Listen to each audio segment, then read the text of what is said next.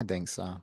okay. I think so. Um, the last one I wanted to mention is just he's just a personal favorite because I just thought he was cool when as soon as he hit the scene.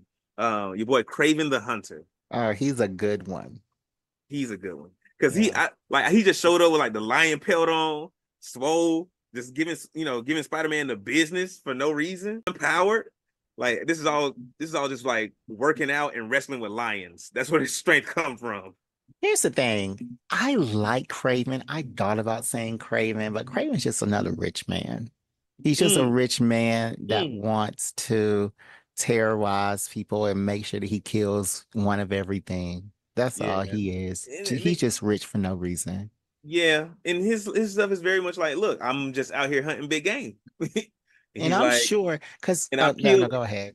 uh, uh, he's he's like, I've killed every dangerous animal there is. All that's left is super beings, Yeah. and each one of you is very different. So I gotta I gotta get one of all. I gotta get one of everything.